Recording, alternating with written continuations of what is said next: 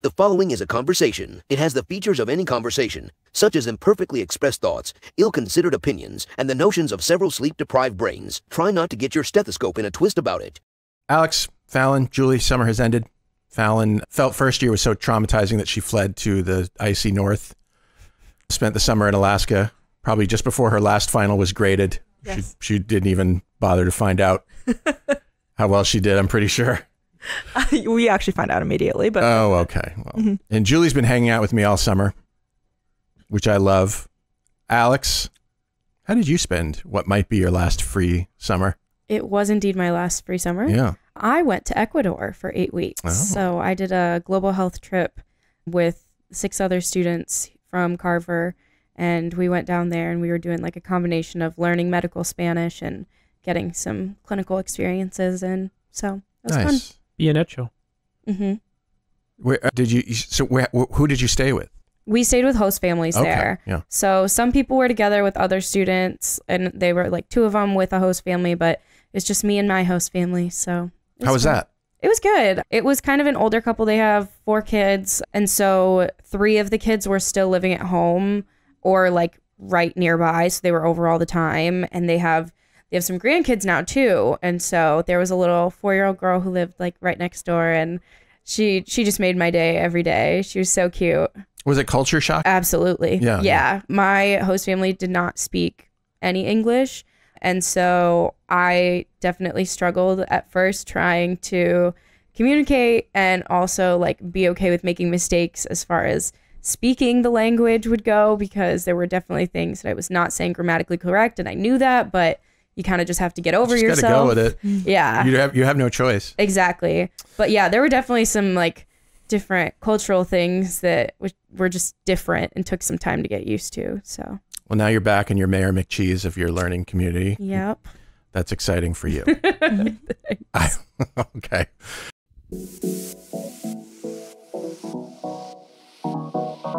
Meandering in the margins of medicine, it's the Shortcoat Podcast. Weird news, Fresh views helpful clues, and interviews. by students for students. Subscribe to our weekly show at theshortcoat.com.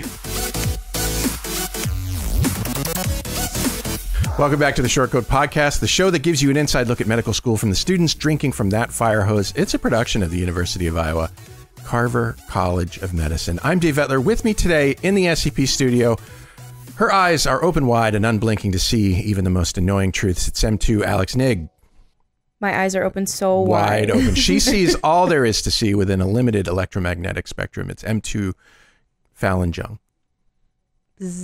Okay.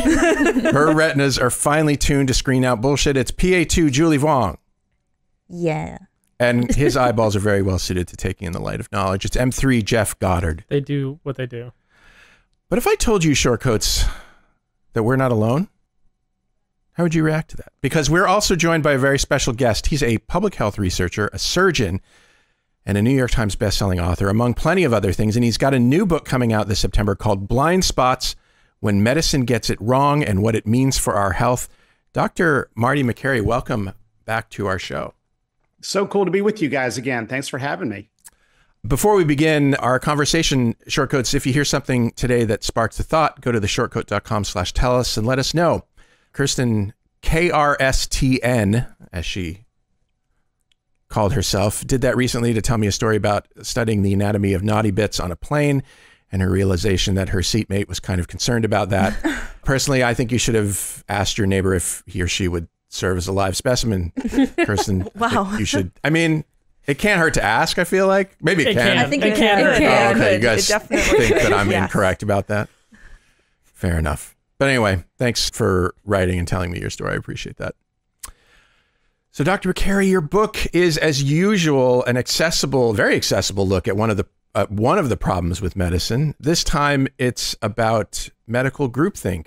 So, for Shortcoats that aren't familiar with that term, what would you? What is that? What's your definition?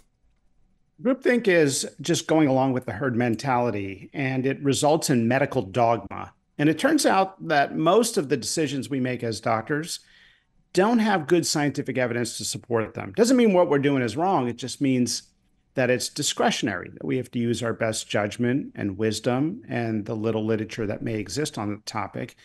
But when we make big decisions based on opinions in medicine, turns out we don't have a great track record. We get a lot of things wrong. Opioids were not addictive, ignited the opioid epidemic. Telling young, young kids to avoid peanut butter altogether, ignored the concept of immune tolerance, igniting the modern day peanut allergy epidemic, and on and on. So we can develop blind spots. And in part, it's a product of our hyper specialization. The fact that the medical culture has done really a terrible thing to physicians and students. And that is, it's basically said, don't ask the big questions, put your head down and try to focus on one thing. And if you're really going to make it far in the academic pedigree, you're going to focus on one tiny little thing. And what we've done is put doctors on this throughput treadmill of billing and coding and increasing throughput. We even measure the product productivity by these units called RVU, work value units. And so we don't ask the big questions. And as a result, we've developed massive blind spots in medicine. And young people and doctors are now saying, hey, we got to start talking about our blind spots the microbiome, food as medicine, school lunch programs, environmental exposures that cause cancer, not just the chemotherapy to treat it. We've got to start talking about these new things. And so that's why I wrote this book. We have blind spots, and there's a lot of activity now to address them. So I got to read the full book. Oh. Everybody here got to read some of the book, but, but I got to read the full book. And full disclosure, fangirling a little bit. I've read all of your books and I've, I've followed you for years, so I'm a big fan. I'm still gonna try to be tough because that's that's trying to be fair, but I'm definitely a big fan. My my first question is, as a student, the frustrations that I've had is you know I, I try to stay up to date on, on knowledge as things are coming out. I listen to podcasts that you know I've I've listened to to you on a, a, number of podcasts. I listened to the Sensible Medicine podcast and and Dr. Prasad's podcast. So I'm trying to like follow as new things are coming along. And I feel like I just get punished for it in medical school in the sense that like, you know, I'll go into an exam and I'm like, well, actually, I know that there's this there's this new nuance that that that we have, but the text question was written based on knowledge from five ten years ago, mm. and so you know I'm losing points because I'm paying attention. And so like, what what would you say to to people that are in their training who are who are just hungry for the nuance and, and the new knowledge coming forth and, and trying to learn new things that are stuck with the fact that the only way they're going to make it through the system is by answering questions that people had, you know, 10, 15 years ago on these board board exams. Gosh, uh, Jeff, I relate so much. I mean, I can tell you that in medical school as a student, I was being examined and tested on the low fat diet, you know, having to sort of recite a catechism that it reduces the risk of heart disease. And I knew it was not supported by any data. And the data now are overwhelming. It's not the natural saturated fats, it's the refined carbohydrates and ultra processed foods that we've ignored. It's the fact that we denature flour and basically turn it into sugar, and it's everywhere. And that causes inflammation. It's not just the lipoproteins, it's general body inflammation. But I had to put my head down, tell them what I perceived they wanted to hear, answer the test, and get done. I had to do that in order to get into to finish get to the finish line. And i ended up doing a surgical residency and then a fellowship and go to the as far as you can go in academics you know focus on one tiny little thing just the pancreas and uh, get all the accolades and the tenure.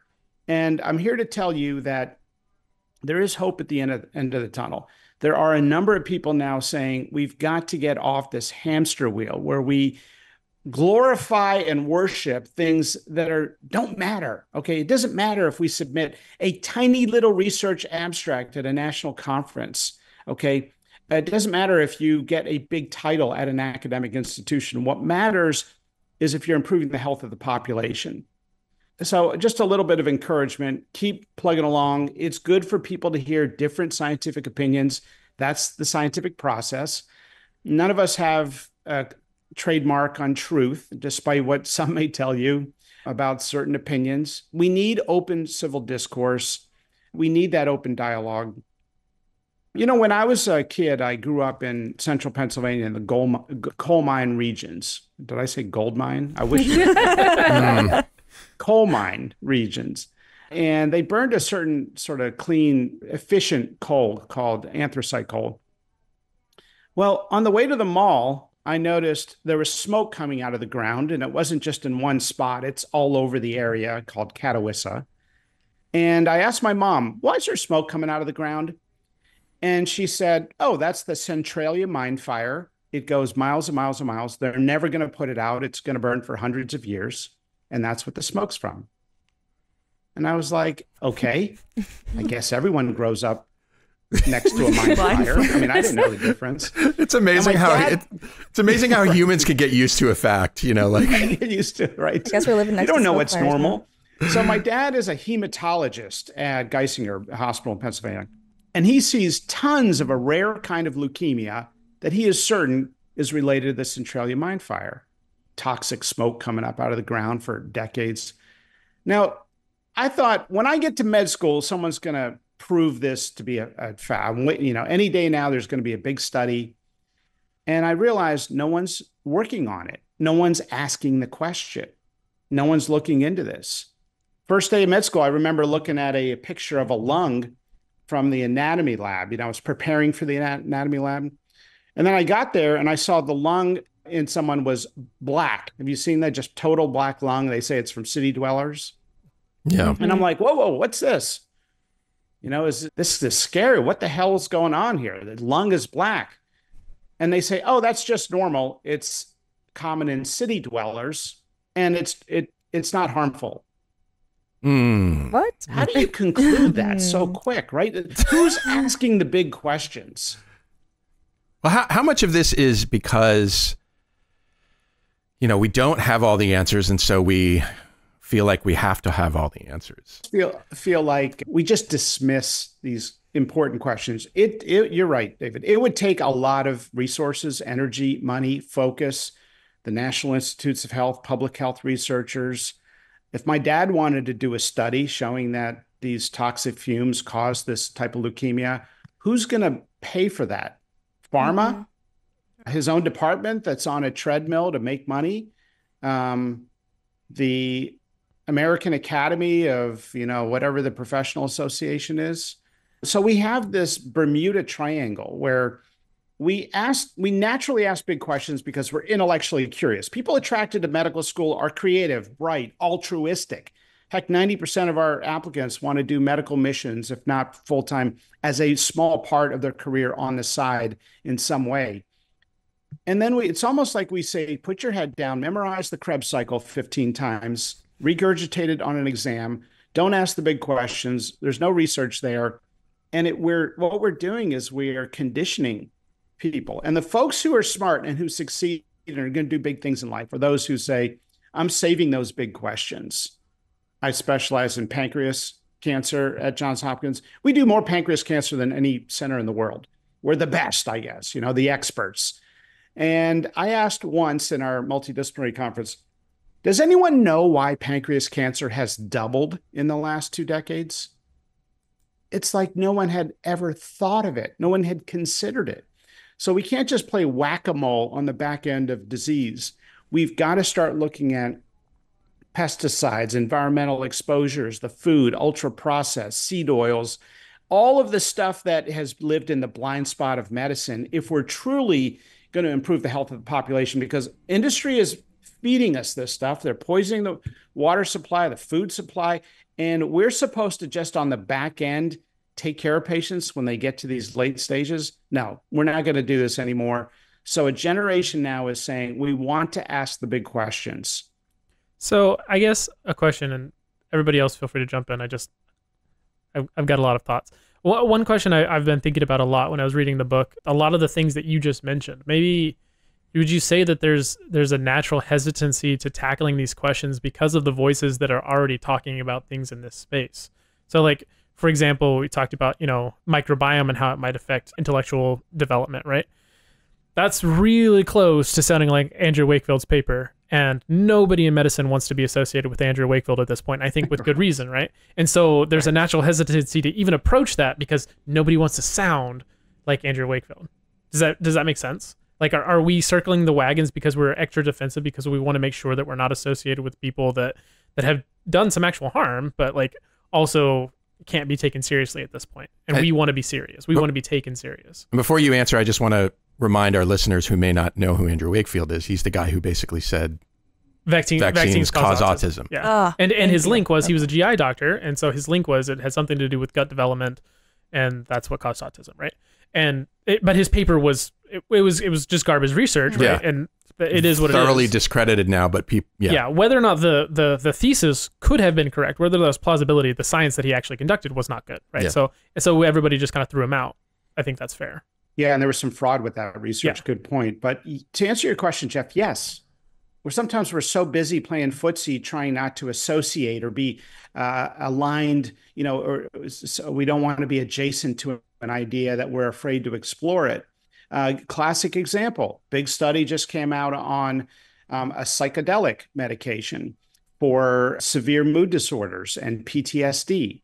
Now, they showed a small benefit, but the study appeared to have ethical problems. There were some unethical issues with the with the study.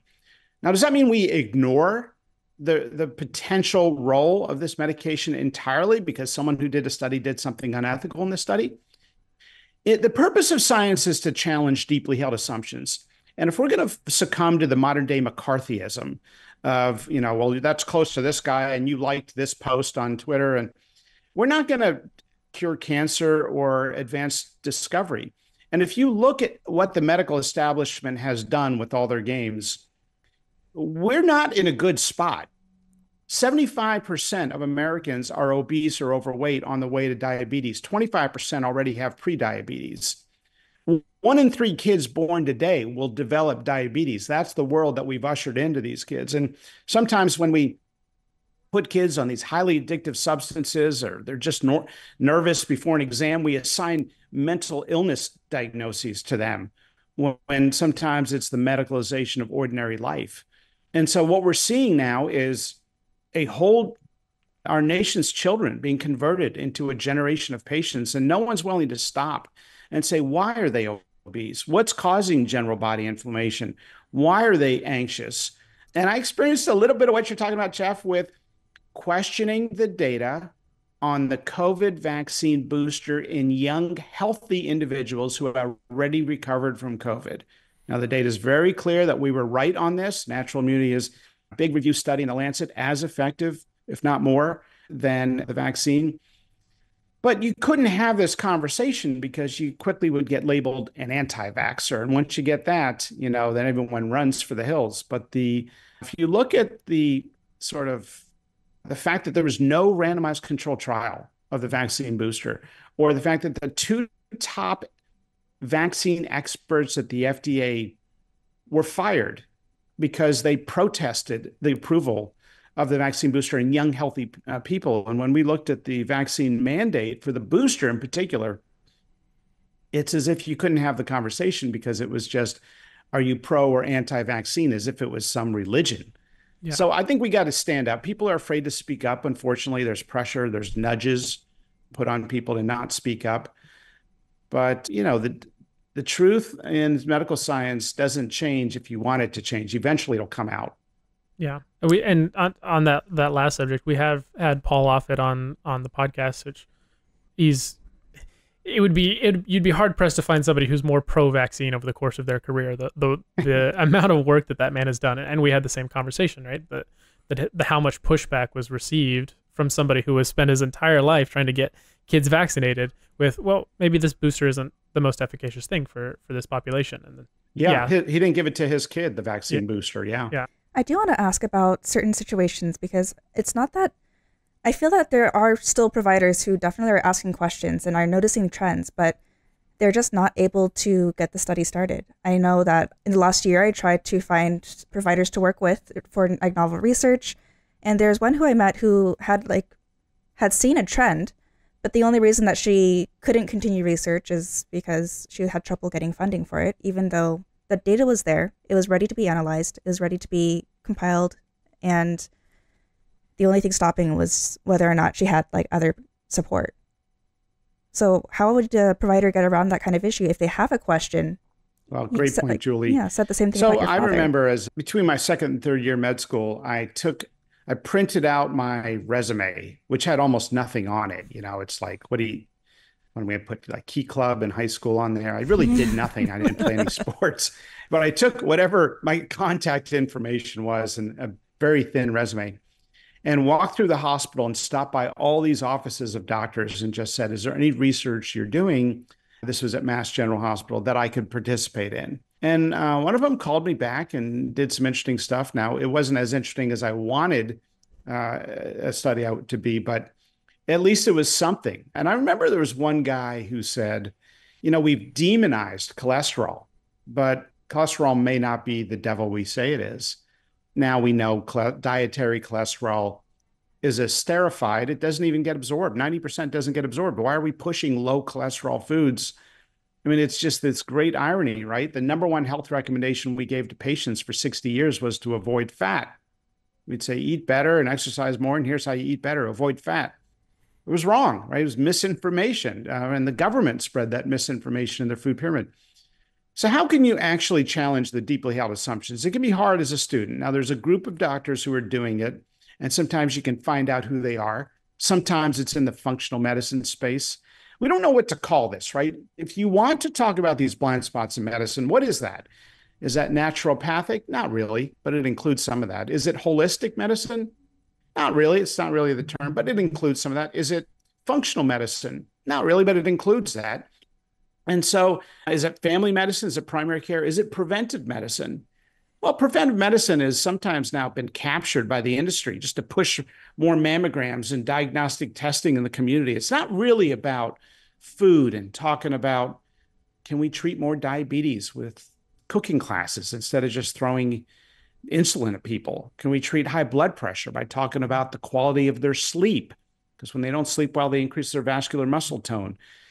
And instead of just throwing antihypertensives and memorizing first line, second line. In school, we kind of teach this, we do this terrible thing of just memorize all these drug names and learn the, the indications. And then you develop this reflex when you come out and so a group of doctors are saying do it differently. So I would encourage you, you know, the field is changing. We're starting to make major progress. Jeff, you mentioned sensible medicine. We're I've got our own Substack now, and some other Peter Attia, the podcasters are out there. You guys are talking about stuff. So I think good stuff is happening. I'm just not sure what the recipe is for a student, except if you know that you want to be a part of something bigger, you don't just want to see patients in 10, 15 minute visits from eight to five every day with one administrative day. If you look at the attending physician saying they were spent their Saturday billing and coding and writing their notes, and you say, I don't have anything to do with that, you're in good company. And that's an indicator that you're going to be a great physician because a, a, a lot of folks now are saying, I want to be an entrepreneur and a doctor so I can disrupt the industry. I want to spend time with people. I want to understand these blind spots, the microbiome, and what's going on in the food world. So we are seeing some interesting uh, things that are happening now. There's some good movement.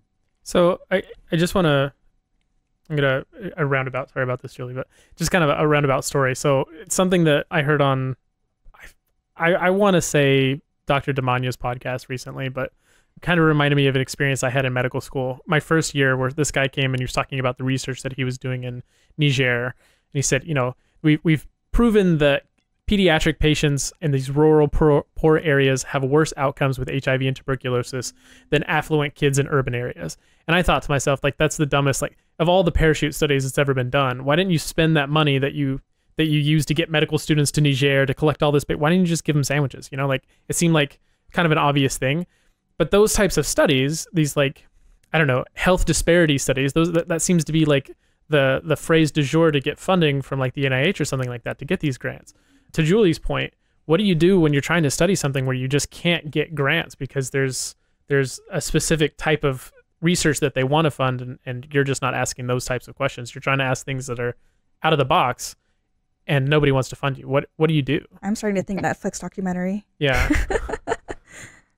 it's tough, right? Because when they control $80 billion at the NIH and they say, we're going to, we really want to fund health disparities. And a lot of us have said, look, describing health disparities is not interesting research. I'm sorry. Fixing health disparities is very interesting. but all the research is on descriptive. So we kind of make ourselves feel good that we're addressing these when we're really not. We're describing them. One in six NIH grants goes to health disparities or health equity research. We just did that study. And uh, um, there's a role for all kinds of research, but we're pouring raw sewage into the Potomac River here in Washington, D.C. when it rains. We are pouring billions of gallons of uh, glyphosate and other pesticides that have estrogen binding like properties as the average age of puberty is decreasing every year. We have the earliest age of puberty of any country in the world in the United States, and we have the highest rate of these environmental exposures. Microplastics have estrogen binding properties, and the immune system may be rejecting them adding to general body inflammation at the lining of the GI tract. No one's talking about these things, and no one at the NIH is funding these things, but we know there's a signal in the data that we have an obligation to address if we're really going to address health. The NIH has the H in it, and that's supposed to stand for health, not, you know, it's not NIP for pharma. And the F in FDA stands for food. So we've allowed the industry to capture some of our regulatory bodies and control medical research. We've had giant grants from pharma to every major academic medical center, and that's fine if they're unrestricted, but we cannot ignore what our patients need. And right now, if you look at the data, they are crying out. People are suffering from chronic diseases, and we're we don't or we're not doing a good job. Acute care, we're doing great. You get shot, you get stabbed, you come to Johns Hopkins Hospital or any one of our nation's leading hospitals, you will get an incredible tour de force of medical care and you'll have the highest chance of being of your life being saved. But you come in with chronic abdominal pain or some kind of food allergy and it's like it doesn't fit our billing throughput system. We don't know what to do. People fall through the cracks. So I would encourage you to keep your enthusiasm around these big issues because there's there is new interest in it now and there's private philanthropists who are funding this kind of work. Actually, we have no NIH funding in my big research center. We're funded privately by individuals in America who hear us talk about these problems. They say, yes, that's what we need to focus on. And they donate money to us. So, so we don't need to fill out those NIH grant forms or deal with the government.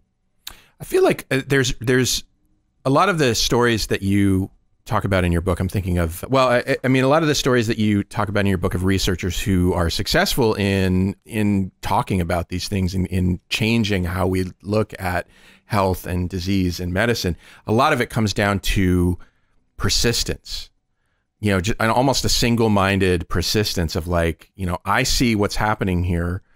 I'm going to you know, I'm going to push people and push people and push people until finally someone says, "Hey, you know what? That's a good idea." I feel like that's the you know, unfortunately the formula for medical students who see these problems too is to just keep that in the back of your head and when you're finally in a position to, you know, start being persistent about these things, to just go for it. But, yeah. you know, when you're learning when when you're, you know, an, an M2, it's going to be hard hard to it's going to be hard to push those ideas you mm-hmm. know? So how about here's a here's a i think a relevant question for us as learners who are trying like with all sincerity going in eyes wide open trying to give these the benefit to the of the doubt to these new ideas that are coming toward us. How do we and how do our listeners the people that are trying to to to grow up in medicine now how do we separate the the the mavericks that have these wonderful ideas from the charlatans that are you know just trying to take advantage of whoever they can pick off right? So the the example and I, and I forgot the doctor's name and I feel bad about it but I remember studying about the H. pylori um, discovery oh. when I was in my undergrad. I didn't realize that was in the 80s like I'm embarrassed that that was so recent that lots that of the stories that you tell in the book are like very recent. Yeah. Yeah. That was somebody that like he was a maverick yeah but we definitely should have been listening to him and then, and sorry to keep dumping on Andrew Wakefield, but I mean, if he would stop, I would stop. But you know, you, you somebody like that who is persistently trying to push his narrative that is wrong. But then, you know, so like, I don't know, like, how do you how do you see these people that are on kind of let's say the fringe of medicine, who maybe they have a really great idea and that's going to revolutionize this, the field, or you know, maybe they're going to cause people to do something really not safe with their health. I don't know. How do you how do you differentiate those? Like, do you yeah, what, what's your process for that? You just have to use consistent scientific standards. Right now, medicine's become so politicized, and I'm not even talking about any one agenda. I'm just talking about if people want to believe something, then they say, oh, this is a great study, even though it's methodologically flawed. And if a study goes against what they already believe, then they dismiss it or don't talk about it or it's inconvenient and they'll critic find some way to nitpick it. And so you got to use the same scientific standards and trust the scientific process. We, we didn't really, we haven't done a good job of that. Look for doctors who challenge deeply held assumptions and who are still legitimate using the scientific basis or they have decent credentials. And there's a lot of them. One of my colleagues likes to take out the appendix for appendicitis. He does it a lot. And I we all did it. We did it 100% of the time. You come in with appendicitis, you take them to surgery, you do the operation. Some of you have watched these procedures. It's very sort of surgery 101. But then a big randomized control trial came out showing you don't need to operate on every appendicitis. Two thirds can get by with just a short course of antibiotics, which which they're on anyway when they're waiting for surgery. And we've noticed when we roll p- people back for surgery, some of them are already cured. They're already better. But, you know, we just did it anyway. Well, the studies showed you don't have to operate on everybody. I showed it to my colleague and he says, Well, I need to see two randomized control trials. Then a second trial comes out. Well, I need to see three randomized control trials. Then the third trial came out, all top journals, top studies, long term follow up. He says, Well, I just still think you're better with your appendix out. It's like Can I just say that I had a very visceral reaction to this to this anecdote because I didn't get to go to Disney World when I was a child because my mother had needed her appendix out. And I still to this day my inner child is pissed off.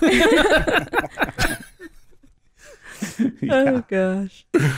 That's an example of not using basic scientific standards. We should use the same standards for every study if it shows that you know ivermectin doesn't work or if it shows that the fifth vaccine booster in a young healthy 12 year old girl doesn't work we have to apply the same regardless of what we want the data to show we've got to be objective and i think one of the things we've lost in modern medicine today as we've taken on this sort of groupthink herd mentality is the ability to critically appraise scientific studies. Yeah. And that's why I encourage all my med students to do some advanced epidemiology, learn those methods so you can really understand how to pick apart a study and figure out what's total fluff and empty and what's an actual signal in the data. The um, Mayo Clinic just put out an, an amazing study I talk about in the book Blind Spots.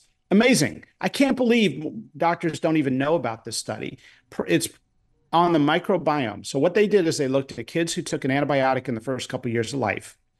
We know antibiotics carpet bomb the microbiome and alter its balance and composition. Well known. Well, the kids who took an, an antibiotic compared to kids who did not in the first few years of life had higher rates of obesity, learning disabilities, asthma, and celiac like three nearly 300% higher rates of celiac. When people come in and say, I have celiac, what caused it? We've told them we don't know or we make something up. Turns out now, this is a very strong signal in the data. And the more courses of antibiotics a child took, the greater the risk of all of these conditions. That's a these are all chronic diseases that are going up. And by the way, farmers have noticed this for decades. That's why they routinely give their animals antibiotics to fatten them up. And so this guy at NYU was smart enough to say, hey, if if antibiotics make animals fatter, what's it doing to children? And sure enough, the data was there. Now, the Mayo Clinic published it in their own little Mayo Clinic proceedings, even though it was an elegant, amazing study with 14,000 kids addressing the biggest health issues of our day. Why was it published in the Mayo Clinic proceedings? Because it lives in a blind spot of medicine. It didn't fit one of the specialties.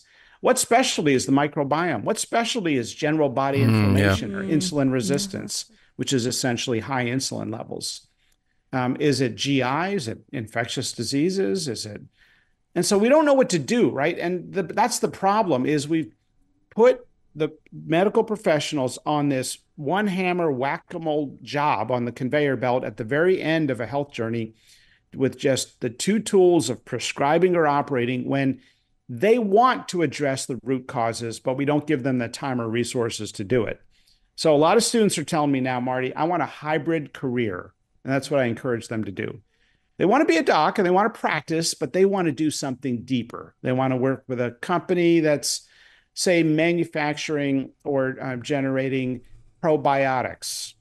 Study just found probiotics were used to successfully treat bipolar. The study just came out showing that the rise in colon cancer in young people is associated with people being born by C section, which we know alters the microbiome. No one talks about it. We just, you'll see it in your OB rotations. Yeah, well, how would you know? Would you like to deliver vaginally or a C section? Your choice doesn't make a difference. What's going on here? The microbiome, the, the baby's gut is sterile in utero and the microbiome is formed. The millions of different bacteria in the microbiome involved in digestion and the immune system, and it makes serotonin. So it's involved in mood, and it's so instrumental. It's a central organ of the body. It's formed from the bacteria in the birth canal as the baby is born vaginally, and it's augmented from breast milk and skin and kisses from grandparents and all sorts of stuff. But when a baby is born by C section, a sterile baby is extracted from a sterile operative field. And what may seed the microbiome are the bacteria that normally live in the hospital.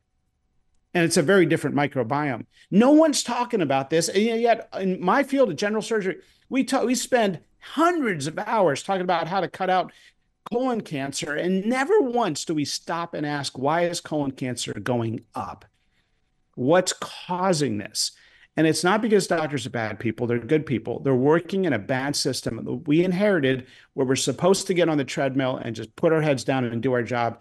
And we're saying no more. We have, it's time to get into these root problems. I will say that one has a hits a little close to home. I, I have a child who was born seven weeks ago, and uh, it was in New York, and um, I just I, I felt like the obstetrics team was just it just felt like they were using a little bit of emotional manipulation and just really pushing for that C-section, and I felt really uncomfortable.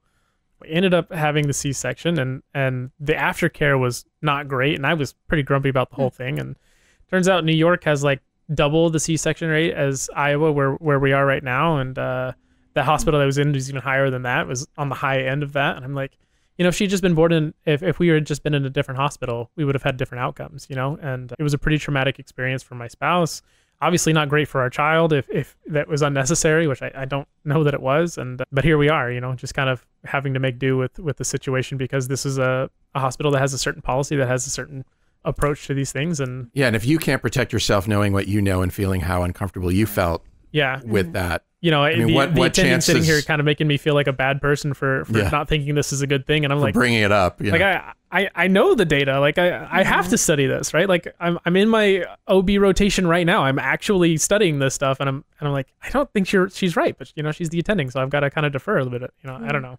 So yeah. Actually, I do have a question on a more micro level. So, for us that are going into clinicals, you know, starting in January, I was reading that that little anecdote about doing uh, what do you call those circumcisions without any sort of anesthetic, hmm. and I mean, like I've experienced that myself working in a hospital. They kind of just like give babies glucose, and then they're like, oh, like they're gonna be good. They'll never remember it, and I wonder as a student, like if somebody's doing that, is there anything that you can do that's not going so far out of like the hierarchical you know, realm of normalcy?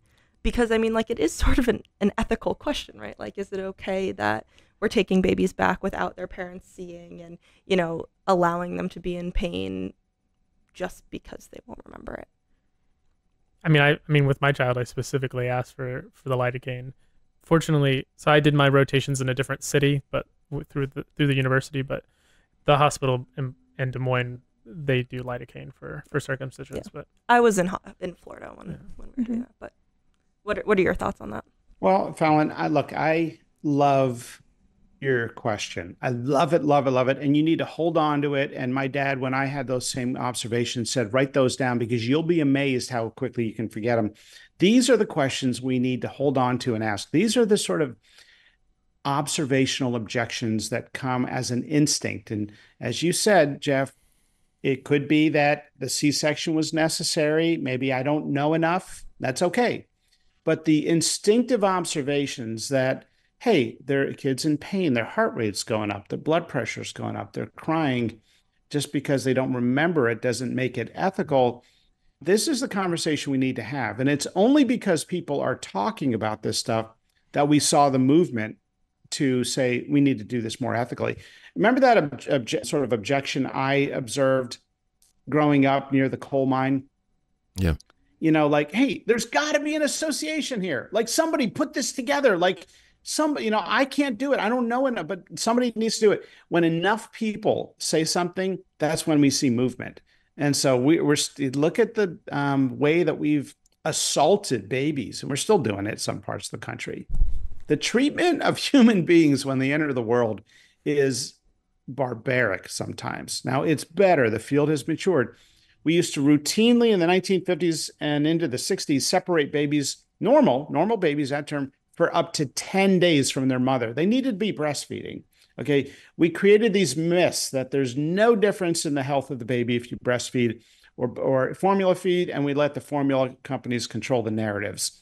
We put temperature probes in the baby's butt when I was uh, a student. Why? You know, we cut the tra- the umbilical cord too early. We now know from research it's good to let it pulse. It's pulsing stem cells and fetal hemoglobin and antibodies and all warm blood. It's warming. Why are we whisk the baby off to a, under a French fry light just to rewarm the baby hmm. when they're already getting a warm transfusion?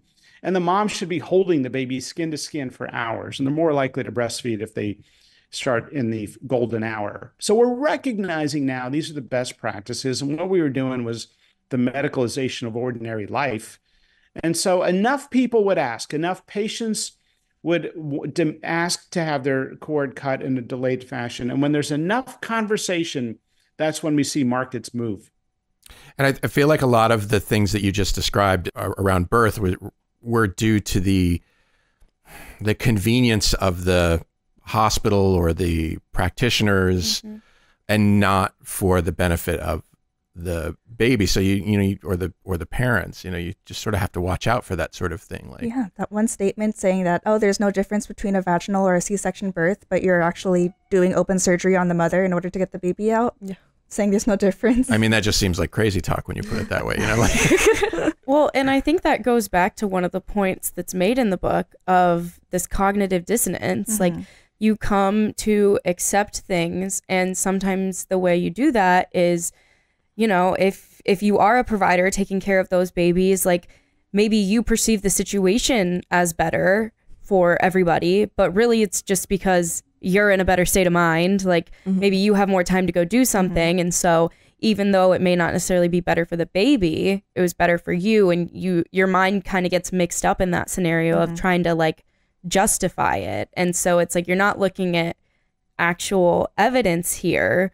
but we do have such a natural tendency to try and like make our minds be okay with the decisions that we're making. Yeah. And so I, I feel like that's kind of what happened there. Mm-hmm. Yeah, I feel like if you're if you're a student in these situations and you feel you feel something about what you're seeing, that's probably a good indication that you need to pay attention to that feeling mm-hmm and really think about it and then maybe go do some research on it.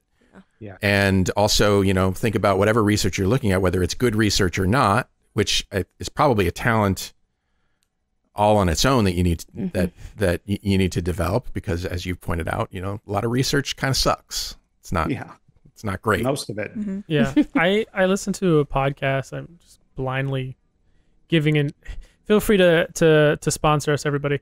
I, I listen to. There's, there's room enough for there's there's room in podcast land for all of us. Fair enough. I, I listened to this podcast, a plenary session. It's a it's this oncologist, uh, Dr. Prasad, that um, Marty knows.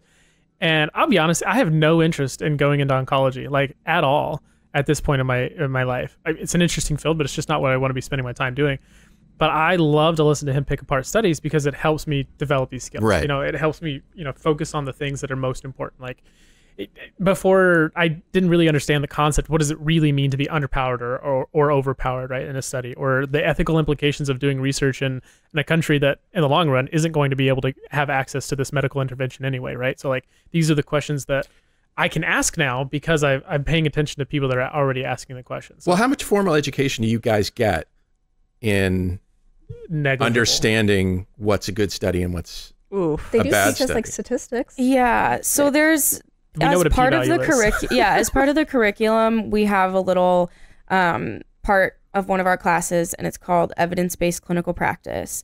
And so in that, you're supposed to learn kind of how to analyze data, the general statistics that studies will use, and how to analyze those things and then use them clinically. So I feel like we got more into it just this last spring, and I'm hoping that we'll continue to discuss it. I know we have some more sessions, but I think there's definitely not enough and I don't think there's as much like actual practice that we get at evaluating those things. It's kind of like, okay, here's a little snippet of something and here's some easy numbers that you can do it with. Like we're not actually practicing it with real studies. Well, that's. I mean, I feel like is that's a lot of med school, isn't it? I mean, you're Yeah. you're you're here. It's sort of a familiarization on medicine. It's not really. Mm-hmm. It's it's uh, it's very you know uh, maybe of necessity a bit shallow. To to be fair though, speaking to the I think the first chapter of blind spots, we do know that a confidence interval can't include the number one. So, you know, we've got that going for us. I don't know. I, I read that chapter and I, I was kind of laughing to myself a little bit. Yeah, but ooh, yeah. We learned talking it. about hormone replacement therapy, Yeah. breast cancer dogma. yeah. Yeah. So we, we do we know some things, but we could definitely use a little bit more practice. Yeah. Yeah, especially with like addressing cognitive dissonance because there's one thing to have the data. As you said, we had so many studies in order to convince your colleague that, hey, maybe you don't need to take the appendix out. And he just kept on fighting back and giving pushback and eventually was like dismissive. But sometimes like there's just people who have some sort of like underlying like I'm sorry, I'm kind of all over the place, but there's mm-hmm. often like a reason, if not from data, that they're pushing back on this. And sometimes with the questioning and with communication of this data, you have to somewhat appeal to their to their pathos in terms of like what is their reasoning for continuing this? Is it because they think it's for the money or because they think that they can't have been wrong in the past or all this time? I mean, there's a lot of like really sort of personal reasons Yeah. Yeah. that you, in, in order for, you know, doctor Mhm. Makary to address this with his colleague, he'd have to like really sort of get into these things that would feel a bit insulting and would sort of, you know, like cause more pushback. Yeah, so like it has to be very careful in how you introduce like new ideas because I know that when I feel like someone who is in a higher position than me is wrong about something, oftentimes I take on a little bit of a I don't know if this is manipulative, but I try to look sub- submissive and be like, "Oh, wouldn't you think that this situation?" and then, you know, let them come to the conclusion as best you can to, yeah. Yeah. and then it, you know it's their idea i'm just asking a question as a curious student or like i'm just so you know What do unsure I of these things Yeah. but actually when i look at this data altogether do you think that maybe this could be and then Just They playing the game. they I get don't to know. Just have to play the game. I don't know, Marty. You can you can tell me if if you think this is off, but my personal experience is that there is there are few motivators quite as powerful as the combination of I'm doing good and I'm making money. Mhm. If you tell a doctor that the thing that they're doing that is making them money and they think is doing good is actually not doing good, whew, you're in you're in for some cognitive dissonance right there. You're, Mhm. you're you're in for a hard conversation. and at the very end just like threaten them a little bit like what happens if you're actually wrong and then you like everyone finds out that you actually continue doing this after everyone like yeah, you can bully them into doing the right thing. That'll that'll do it. just a little bit of like Yeah, You guys are spot on. I love it. I mean, this is the intellectual curiosity that leads to great things in medicine. And so, as long as we're talking about this stuff, we're going to keep pushing the field. The father of modern medicine, this guy, Dr. Claude Bernard, in the late 1800s, implored all of us to recognize that we all have our biases. It's natural, it's part of the human condition. We can't avoid it. But we need to recognize our biases when we hear new information and then temporarily suspend those biases so we can consider new information as objectively as possible. And it's not just a, le- a lesson for medicine and its modern groupthink, but it's also probably a broader lesson for society, how we think about politics and business and relationships. We all have our biases. We all tend to believe what we hear first, not because it's more logical or more scientifically sound than new information, but simply because we hear it first. And Leon Festinger, uh, you alluded, Alex, to the section on why we resist new ideas, the psychology of groupthink in the, the that I wrote about in the book. Festinger argued that the brain likes to feel comfortable with one belief, and if a new belief challenges that, subconsciously we try to dismiss it or reframe the new information so the lazy belief we already hold doesn't have to move its position and leave the brain. For example, let's say you smoke, and a new study says that smoking uh, causes cancer and death. You'll say, well, uh, they smoked differently in that study than how I smoke.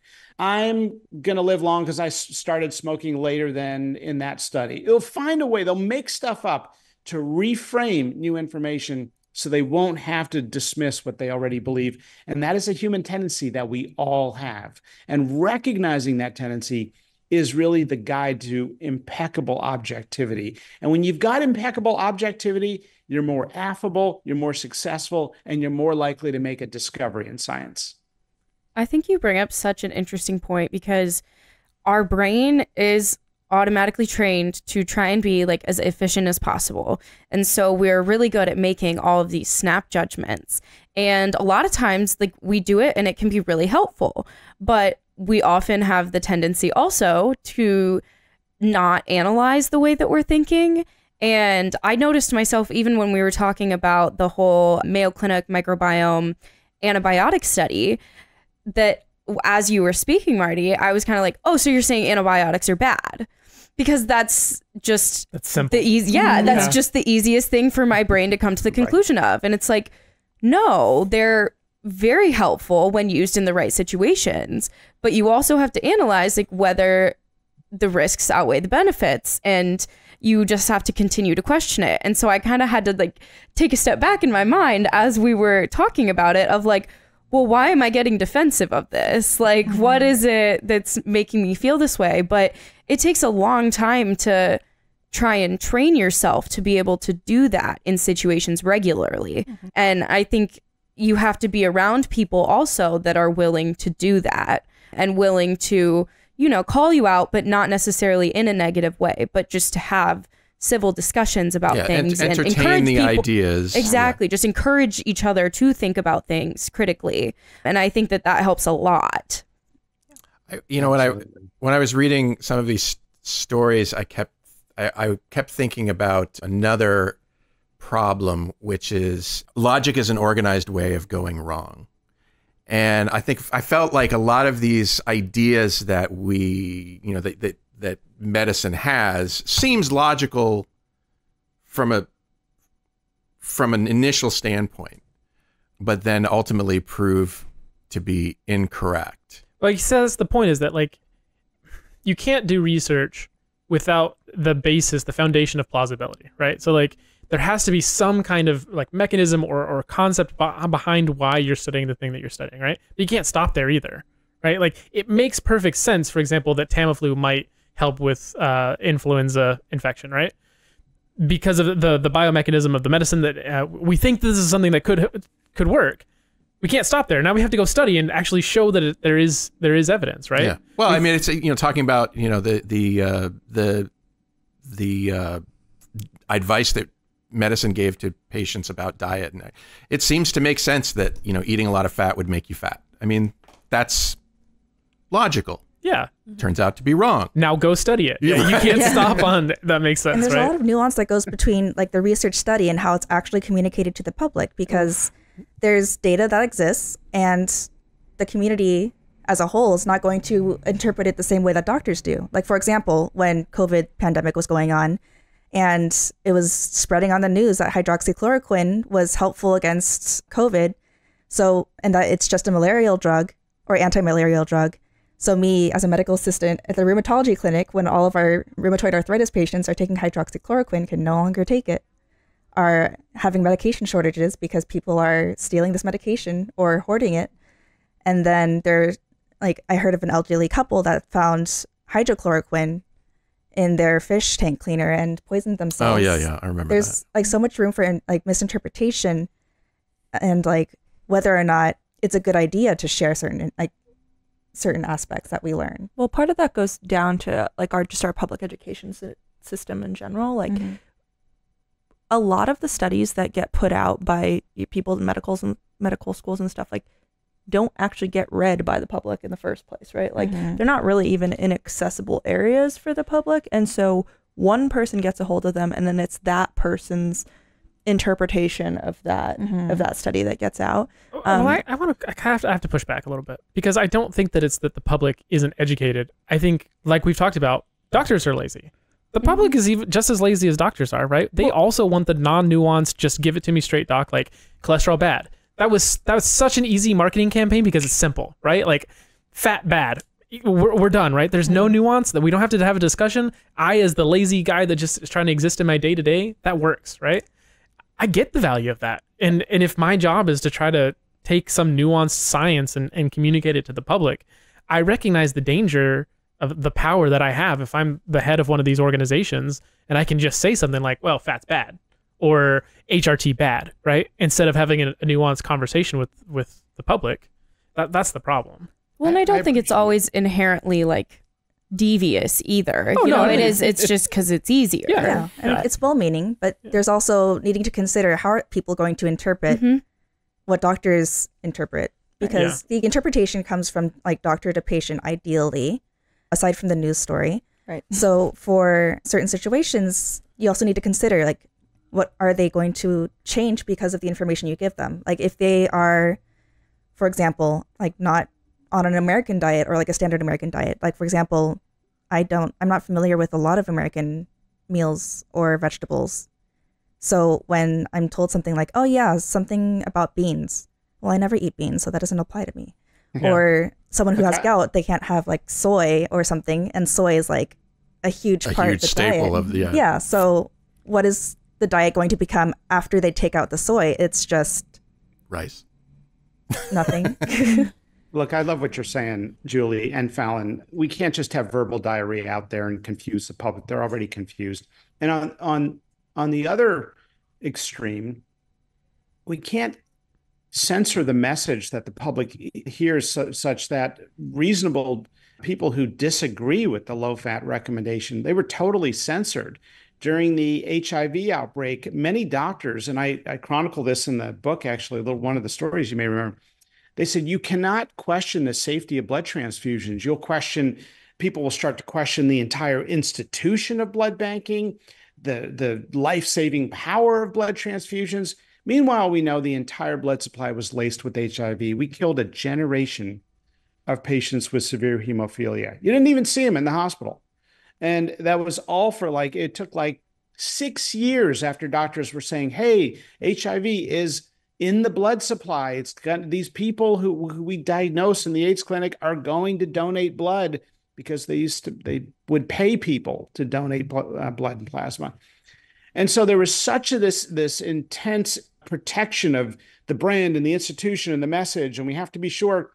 And we did a lot of damage, and I experienced it a little bit during COVID. My research team, you may know, at Johns Hopkins, did the largest human study on natural immunity long term. We took people who had COVID but hadn't been vaccinated, hundreds of them, and tested their blood looking for the antibody, the levels, the duration. And we published this in JAMA, the big JAMA, not the side JAMA journals. It was one of the most widely read articles of the year on the JAMA website. And when I would talk to public health officials, the big boys who are making all the decisions, they said, yeah, we don't want to acknowledge natural immunity's protective value because some people might interpret that as then we don't need a vaccine. And I'm, I'm thinking, what is going on here? They're talking, they're treating the American people like they're stupid. It's the old medical paternalism we saw when doctors tried to block home pregnancy tests because they thought women can't handle the information. And um, you can both be honest about the data being discussed among experts and encourage vaccination at the same time. You can do both. You don't have to dumb it down in such a way. So our study got censored. We believed there was gain of function research in the Wuhan lab. Google was very open. We they censored all of the, those posts and searches. And so when you do that, we're not in a healthy place in science. And I think the purpose of science is to challenge deeply held assumptions in the field. So you're saying that the better way to do it would be to be honest with people about what you know and what you don't know. Mm-hmm. Yes, David, because we have a mistrust crisis right now. I don't know if you saw the study that just came out. 60% of the public does not have high trust in the medical profession. I mean, that's epidemic. People are not going to get their childhood vaccines. They're not going to come in when they're uh, vomiting or sick. I mean, we have a public trust crisis. And I think when you lie to the public that, oh, we just have to make the message simple, and then the truth comes out, you end up uh, violating one of our sacred uh, covenants with the public, and that is to always be honest. Look, I remember I made a mistake once. I ordered a CAT scan and it got done on the wrong patient because they had a similar name. When I found out, I went to the patient who got the CAT scan unnecessarily. I said, Look, you got a CAT scan you didn't need. It was a mistake. I don't know what happened, but I take responsibility. I'll go down and check the results right now for you if you want. I don't know what it shows. I just found out. And that guy was already a little sort of disgruntled before all this happened. And he wasn't angry. He looked at me with a smile and he says, Thank you, doctor, for coming up here and sharing that with me. I really appreciate it. People are hungry for honesty and they can be very forgiving if we're transparent and honest along the way, in my opinion.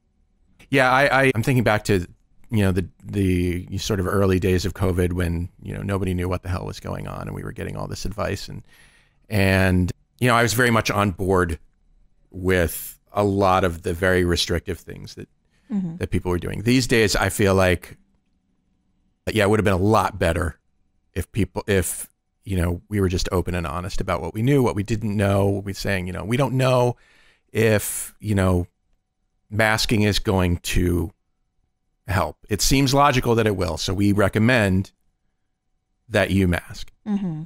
So I don't know. I just I kept thinking about that as I you know read your book and and I love what Alex said. You know, Alex just said when you hear about the antibiotics carpet bombing the microbiome and leading these chronic diseases, you want to just our brain naturally subconsciously goes to okay well then they're evil. No antibiotics save lives right? C-sections save lives. That's the point that i love that alex just made is that it's a nuanced conversation and that's what separates us from the natural tendency of this cognitive dissonance. And you see this in politics all the time. Oh uh, there's a war in the world. Okay tell me who's good and bad. Yeah yeah. Okay mm-hmm. and then it's just all let's just go in on well maybe it's complicated right? Maybe it's maybe it's not what you're hearing, and it's there's more nuance to it. And that's I think our uh, charge as health professionals is to provide that nuance to people and individualized care. And when we don't know, it's okay to say we don't know. It's probably the right answer during COVID a lot of times. Yeah. And probably, I mean, I don't know, personally, I would really, really like to get to a place in our profession where we could get get away from some of these internal politics, right? Not like red versus blue kind of stuff. But you know, like we said, like does it have to be that you're either HRT is evil or or HIT, HRT is gonna I don't know it's a, it's a miracle world, drug, right? right? Like is is is kale the, the wonder food or is it is it bad, right? Or, or or are we gonna only study this one type of subject or this other kind of subject? You know, like do we have the the humility, the the epistemic humility to to say we don't know. Therefore, I, I mean, one of the ideas I don't I think it was in your book this idea that like what if we just took people that are really smart they've studied a lot in their field and we just said here's some money i don't care what you study. Just just go nuts because that's we're not going to get there if there are arbiters deciding what what are the things that we can study if there's a political agenda behind what subjects get funding. Mm-hmm. it medicine has only ever improved on the ideas that we don't know are coming right? Like three days before Fleming looked at his petri dish, nobody had any idea that penicillin was coming around the corner, right? Like that just wasn't a thing. If you'd asked me ten years ago if we were going to have a gene therapy for sickle cell, I'd be like, well, I don't, I don't think so, right? Like that's there's one of those big breakthroughs that that only happens because we're not forcing people to only study certain things, right? We we got to have a little bit more humility in saying, I don't know, go go study everything. Well, I feel like Dr. Makary might have other things to do today, but I'm Fun. I'm so glad you uh, you came on the show again. Thanks for thanks so much for coming to talk with us about your new book. Oh yeah, Um, no, thank you for reading it and taking an interest in it. When- I'm really when- excited about it. So I think it comes out in mid September. Is that right? yeah, it's now available wherever. Uh, Oh, wherever okay. Books are sold. So go get your copy of Blind Spots when medicine gets it wrong and what it means for our health wherever you get your books. It's a really accessible read and I learned a lot and and uh, again, thanks for coming on the show. Awesome, great to see you guys. Great conversation. Thanks so much. Yeah, Jeff, thanks for putting this together for us and thank you Fallon, Julie and Alex for being a part of it. It was an honor. Yeah, let me know when there's the the paperback, the hardcover audiobook, the Netflix documentary, Yeah. the adaptation, adaptation. And what kind of blind spot would I have if I forgot to thank you, Shortcoats, for making us part of your week? If you're new and you like what you heard today, follow the show wherever fine podcasts are available Apple Podcasts, Google Podcasts, YouTube, Spotify. The show is made possible by a generous donation by Carver College of Medicine student government and ongoing support from the Writing and Humanities program. Our music is by Dr. Vox and Catmosphere. I'm Dave Etler saying, don't let the bastards get you down. Talk to you in one week.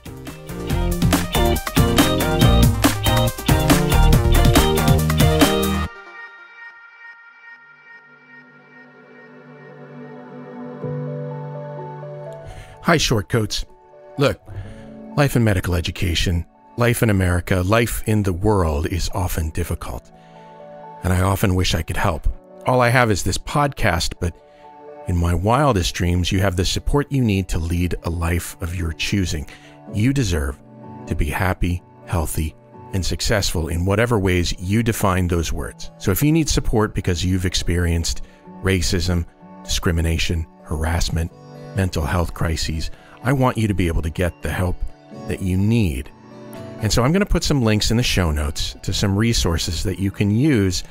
But the bottom line is that for what it's worth, I see you. I know you're out there. I wish I could do more. Maybe I can in ways that I don't understand yet or know about. But I see you, and I'm glad you're here, and other people are too.